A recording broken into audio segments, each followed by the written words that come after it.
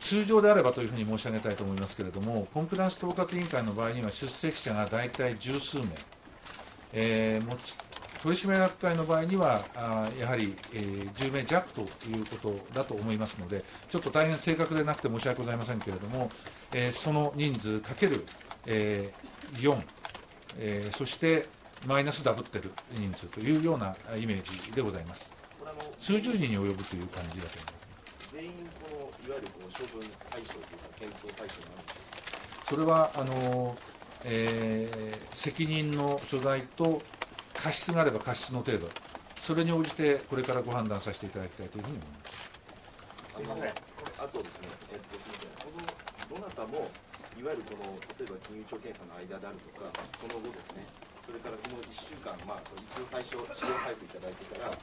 えー、次に会見するまでにですね、えどなたもですね、こういう問題、自分たちは知ってたんじゃないかという声を上げられなかったというそのご指摘のコンプライアンス統括委員会のメンバー、あるいは取締役会のメンバーから、そういう声は私の知る限りにおいては上がっておりません。コンプラ委員会でかつて、その反社に関する、その森子に関する以外でも、その反社に関する議論だったり、提言があったりということは過去あったございます。それは直近でいいですえーとえご指摘のご質問をですね、えー、みずほ銀行のコンプライアンス委員会、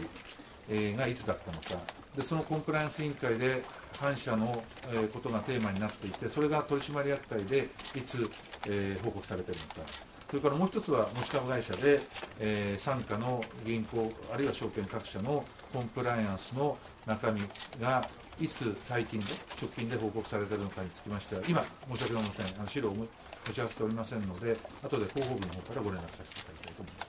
ちょっとよくわからないのが、えー、入庁検査を受けてですね、まあ、そういう指摘があったにもかかわらず、処分が出るまで中で浮上作用を働かせようということは全く見えないんですけれども、それについては処分が出ないと、やはり水銀行変わらないということがより強く思ってそのあたりあの処分につきましてはおっしゃる通りですけれども、あの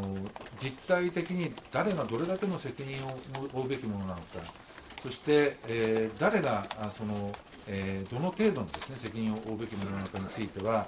あの私どもだけの調査ではあの不十分でございます。えー、今度の第三者委員会の目的もそこにございます、の一つもそこにございますので、やはりそれを待つ必要があると思います。また関係とあのこれ、行政処分でございますので、ご当局にもその内容を報告し、えそれをあ、まあご、了解いただくということが必要だというふうに思っています。皆さん報告はいいんですけども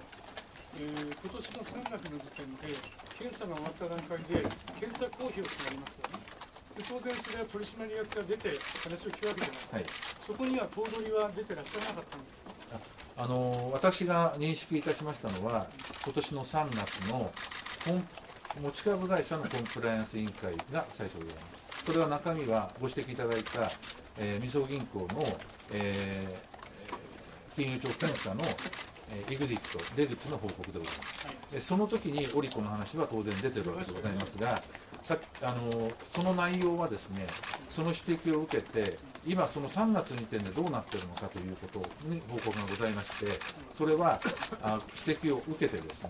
ね、す、で、に、えー、買い戻し、これがご指摘を受けているんですが、はい、それも、えー、オリコにお願いをしているし、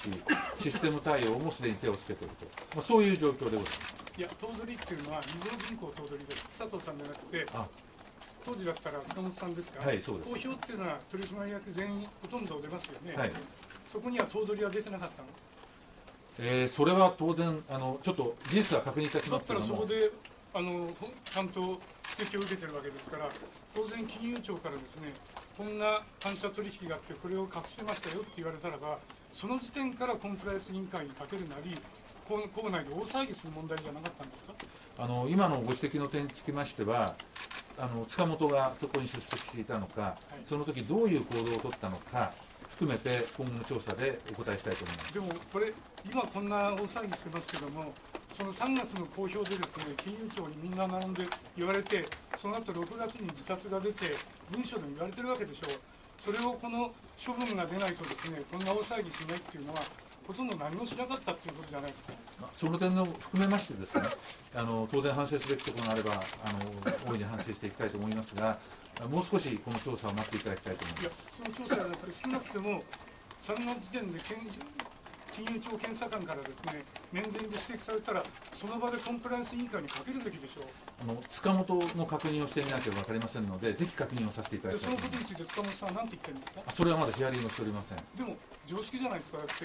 3月に金融庁で公表を受けたっていうのは高知の事実なんだからだったらどうしてそこで対応しなかったのかってなぜあなたが聞かないんですか？ただちょっとあの事実を申し上げますとですねまだその点に、えー特特別その焦点を当てて、えー塚本に意見を聞いたということをしておりませんので大変申し訳ないですけれども今後調査に委ねさせていただきたいと思います。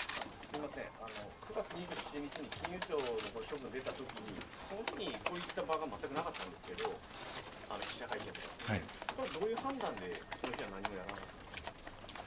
えーその記者会見を開かなかったということでございますから、まあ、それはあのもう少しですね、その段階で、えー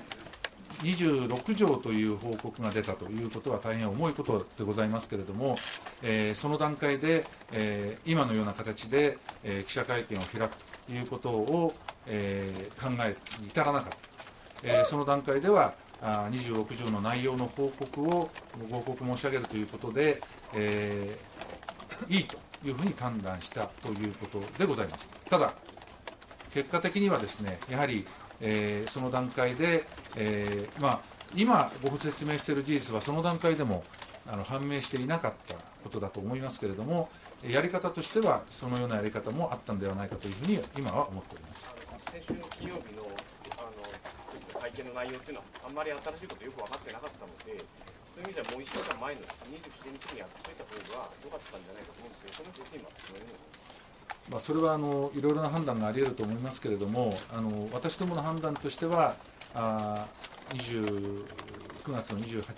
日だったでしょうか、あの一度あのプレスとして公表させていただいて、えー私どもの中で、えー少し、えー体制を組みながらですね、えー岡部自身がこの問題を、えトップとして、えハンえハンドリングするということを、え決めて、えそして、え会見を開くという形の方がいいのではないかというふうに判断したわけですけれども、え今ご指摘いただいた点を振り返って考えると、その方が良かったかもしれないというふうには率直に思っております。